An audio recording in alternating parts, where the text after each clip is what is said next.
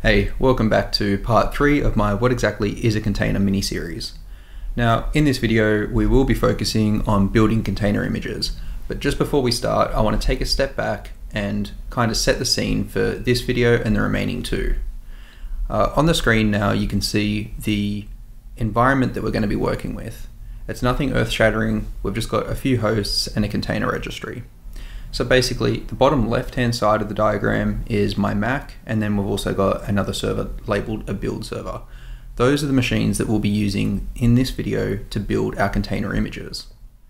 After that, we're going to look at pushing those container images up to a registry. So that's for our next video. And then finally, in the last video of the series, we'll look at pulling the images down from the container registry and running them on the production host. Now, it really seems simple, and that's because it mostly is.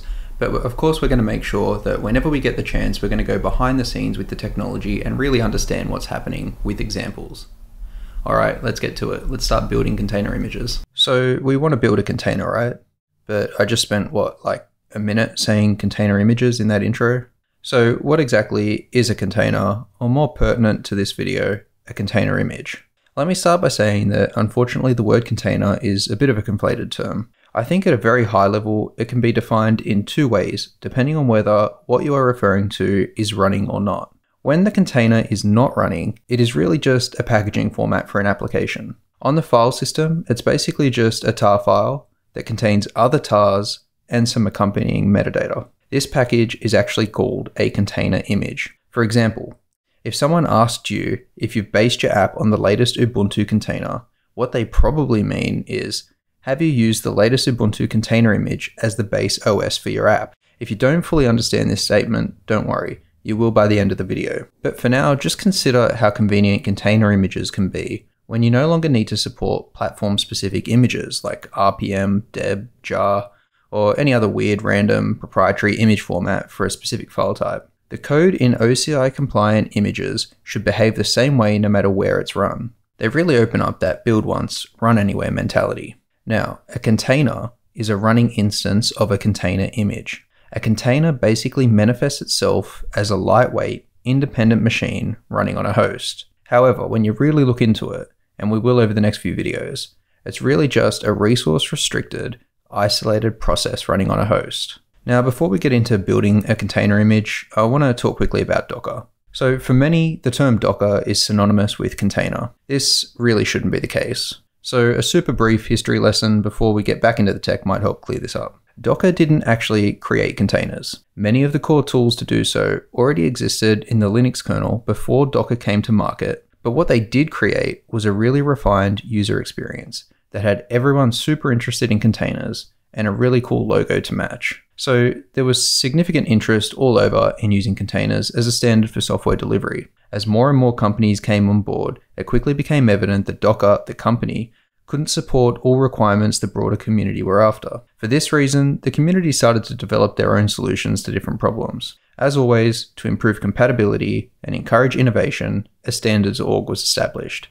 In this case, the Open Container Initiative. OCI was started to define standards around all things containers. And just so you know, these standards, some of which were actually donated by Docker, have led to a fantastic level of interoperability between all OCI compliant tooling today. So Docker is still alive and well, but my main point here is that Docker, whilst instrumental to the popularity of containers and the user-friendly tooling around them, including the Docker protocol, Docker isn't actually the technology that makes containers possible. We'll cover specifically what those technologies are over the coming videos. Okay, so back to our workflow.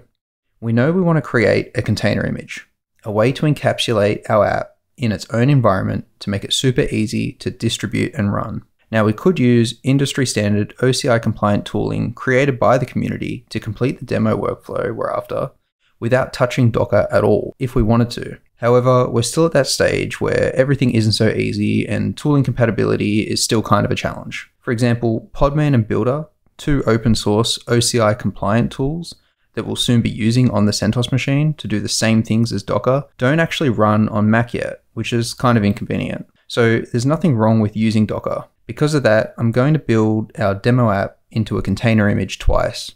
Firstly, using Docker on my Mac, and secondly, using the OCI compliant container image build tool called Buildah. Okay, let's get to it and take a quick look at the app that we're going to containerize. So you've actually already seen this demo app in action in the first video of the series. It's just a simple web app that says hello world when you start it up and you can change the background color with it. I've built it using Next.js, so we can just uh, quickly start it up in dev mode and take a quick look and see it running outside of a container.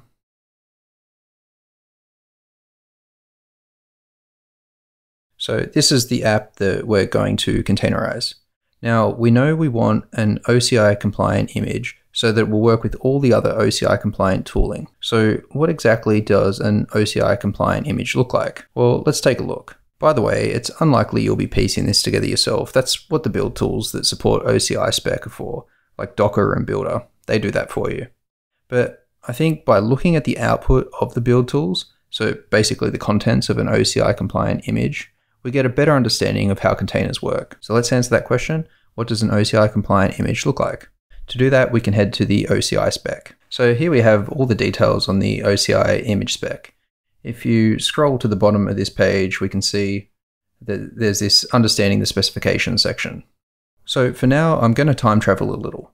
I've already built the container image using the demo app, and I have the image extracted onto the file system in an OCI format so that we can explore it now and compare it to the OCI spec. On the left of the screen, you can see that we have a blobs folder, an index.json, and an OCI layout. So if we come back to the spec page, if we click on the image layout, we can see as we scroll down the page, the image layout is as follows. We need a blobs directory, an OCI layout file, and also an index.json must exist. So that's exactly what we have here. Basically, the OCI layout file represents the root of the container image uh, with the layout version as well. The index.json, if I neatly format this, actually represents the entry point to the container image. We can follow this entry point and navigate deeper into the image. So you can see here that the digest is a SHA-256 and it starts with 6b. So if we head over to blobs and we're in the SHA-256 directory as well, we can actually have a look at the file starting with 6b. So we can see that this here is also a config. I can change this to JSON. And we can now see a manifest file that's pointing to both a configuration and an array of layers. So let's first take a look at the configuration. We can see that starts with 1D. And what we can actually see is something very similar to what we would see if we did, for example, a Docker inspect on a container that we've already downloaded. So you can see the architecture, the OS, uh, we've got some environment variables here, the entry point, so we know it's a, a Next.js app. So you can see there that we start the application with Next Start. Uh, working directory, we'll cover that when we look at the build. The root file system and all the files that make up the different layers. These here are the SHA-256 hashes of the uncompressed layers. We've also got the container history included, and that's it. Okay, so let's come back to this root fs part here, because we've got a number of files here that have not been used on the left-hand side yet. We haven't referred to them. If we click them, you can see that the editor can't even display them. This is because they're all compressed, so each one of those cannot be displayed. If we come back, we can see that the, just let me change that to JSON again we can see that each of these actually corresponds to one of these files in the left, but the hashes on the left are the, the hash of the compressed contents, whereas the hash in this file here is the hash of the contents uncompressed. Okay, so let's uncompress one of these layers and see what the contents are for ourselves. What I'll do is I'll just create a new temp directory and then extract one of the layers directly into it. So you can see the contents are actually a file system. So let's do that again now with another of the layers.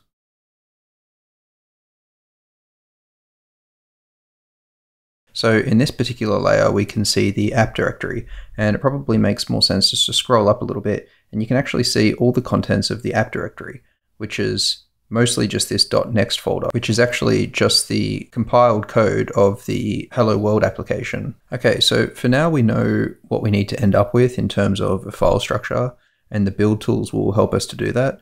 But what we still probably don't really understand is exactly what the deal is with all these different layers of file systems that are bundled into this image. So this part is crucial to understanding containers. We need to go one level deeper and learn about something called a union file system, and then we can come back up and start to build the image again. So what is a union file system? It's basically a technology that allows you to combine multiple file systems together by laying them on top of each other with the higher layers in the stack superseding the lower layers. So in this example, I'll be specifically talking about the overlay file system 2 or the overlay 2 storage driver implementation because this is pretty much the most common storage driver for container engines like Docker, Buildah, Podman, and CRI-O. Okay, so as always, the best way to understand the technology is to start using it. So let's build our own union file system using OverlayFS. I've SSH'd into the build machine. I've got two tabs open to the same machine. I'll start by creating an overlay file system directory. We can navigate into that on both sides.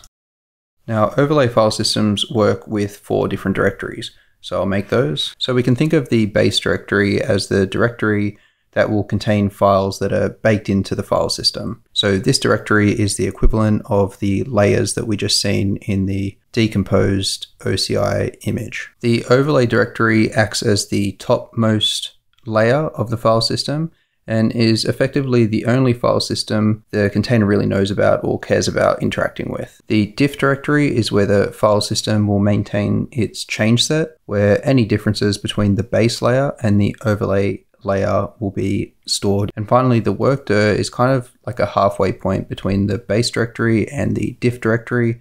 Um, we probably won't really see too much action happening there um, unless we did some sort of really large file operation that might take some time. Um, so once it hits the diff, the changes are always seen in the overlay and no longer in the work dir. Okay, so I'll start by copying some test files into the base directory. We can see we have three files in there now, and now we can mount the file system.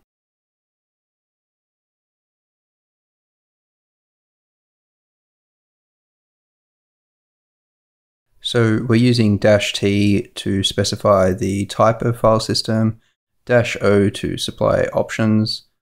Uh, we're calling the mount overlay fs, and then we've set the mount point to the overlay directory. We can see the file system is mounted, so that's all good. So now on the left-hand side of the screen, we're watching the, the overlay file system for any updates, and that'll refresh every three seconds. So let's take a look at some of the characteristics of the overlay file system. Firstly, everything that we added to the base directory immediately shows up in the overlay file system. We can see that anything newly added to the overlay directory also shows up as a diff. We can see that deleting a file effectively hides the file from view, even though it still exists at the layer the file was added in. So Van Dyke was removed from the overlay file system, but the file still exists at the base layer, and it's showing up as a diff. I've just edited a file so we can see that the file still exists in the base. It also still obviously exists in the overlay, but we've also got an additional entry in the diff as well. So if we have a look at the contents of the overlay, we can see it has the updated contents. If we have a look at the contents of the diff, we can see it's also the updated content. And let's have a look at the content of the base as well. You can see that the original file still exists unchanged in the base directory. Okay, so hopefully that explains some of the key characteristics of a union file system, specifically overlay FS. We can unmount the file system now.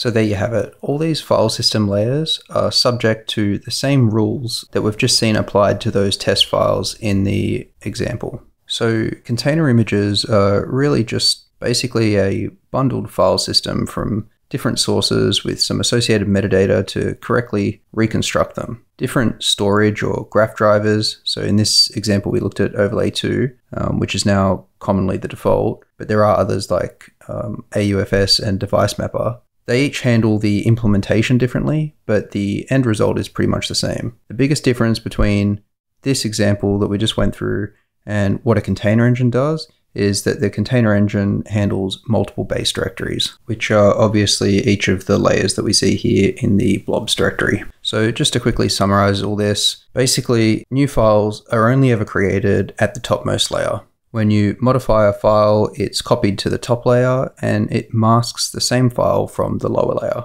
It doesn't actually delete it or anything like that. When you read a file, you're reading it from whatever layer the file was originally added. Deleting a file effectively hides the file from view, even though you have to remember it still exists at the layer that it was added in, so it's never truly deleted from an image. And then finally, directories are merged. Now, a quick note on persistence. We know that containers provide consistency and predictability because they are immutable. So everything we just did would be lost if a container was to restart. If a file needs to be available for the container to work as expected, it should be baked in during the build process. Otherwise, if storage is needed, for example, for a database running in the container, then an external volume should be used, but that's out of scope of this video. So you can probably start to see how union file systems are what gives containers many of their benefits. You can inherit from others. You can build off what they've already done by using their file system layers and adding your own on top. So this can really make, you know, things like updating and patching systems super easy too. Just swap out a layer during the build process. In terms of immutability, uh, even though it doesn't feel like it, it's only the uppermost temporary layer that's ever written to once the file system is mounted, and any changes are discarded when the container no longer exists. So no permanent changes can be made to the image without intentionally building them into the image.